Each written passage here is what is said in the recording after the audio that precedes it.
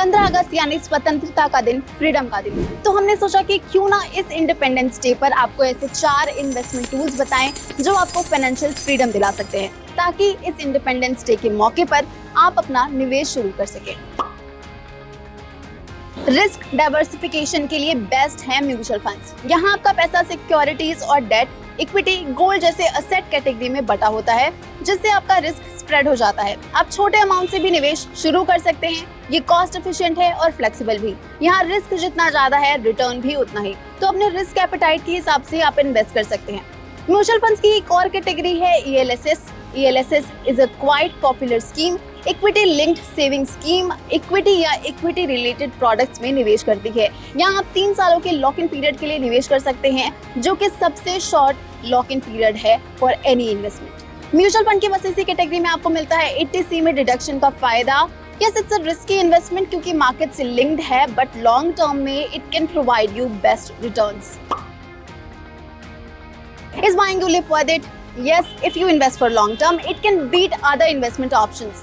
ULIP आपको ELSS mutual fund से better return दे सकता है लॉन्ग टर्म में ऊपर से आपको यहाँ ट्रिपल फ़ायदा मिलता है रिटर्न और प्रोटेक्शन के साथ टैक्स बेनिफिट का ये इन्वेस्टमेंट भी कैपिटल मार्केट से लिंक होता है जहाँ आपका पैसा इक्विटी और डेट फंड्स में लगाया जाता है इसमें इन बिल्ट इंश्योरेंस प्लान होता है, प्रीमियम पर टैक्स छूट मिलती है और डेथ बेनिफिट भी टैक्स फ्री होता है। नेशनल पेंशन स्कीम रिटायरमेंट के लिए मोस्ट प्रिफर्ड ऑप्शंस में से एक है। आज से 20 साल 30 साल बाद आपको पैसों की चिंता ना करनी पड़े, इसके लिए आप अभी से पैसे जोड़ सकते हैं। और टैक्स बेनिफिट्स के तो क्या कहने एटीसी में जो आप डेढ़ लाख का बेनिफिट ले रहे हैं, उसके ऊपर से पचास हज़ार पर छूट मिलती है यहाँ, यानी कि दो लाख की बचत। आप 60 की उम्र तक इसमें निवेश करेंगे और फिर 60 परसेंट कॉपस निकाल सकते हैं। बचे हुए 40 परसेंट से आपको हर महीने पेंशन के तौर पर इनकम आती रहती है। फाइनेंशियल इंडिपेंडेंस बस इन्वेस्टमेंट से नहीं आती है। ये आती है सेंस ऑफ़ सिक्योरिटी से सेंस ऑफ़ प्रोटेक्शन से और ये आपको देता है इंश्योरेंस चाहे लाइफ इंश्योरेंस हो या फिर health insurance people usually ignore insurance in their financial planning but it's quite necessary कि आप इंश्योरेंस को जगह दें अपनी प्लानिंग में ताकि अगर आपको इमरजेंसी में कोई भी ज़रूरत पड़े तो आपके पास हेल्प अवेलेबल हो।